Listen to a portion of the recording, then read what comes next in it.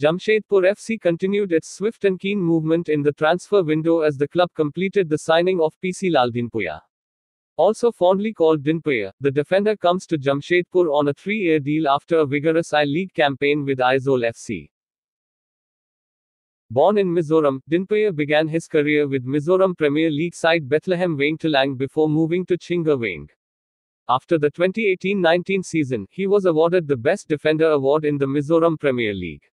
He also participated with the club during their second division campaign. Following good performances in the Mizoram Premier League, the 24 year old was called up to represent Mizoram in the Santosh Trophy in both 2018 and 2019.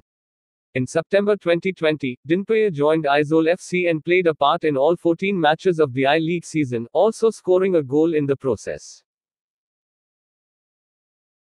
Dinpuia has been handed squad number 4 for the upcoming season of the ISL, and will be joining the squad for the preseason which is scheduled to begin in the coming weeks.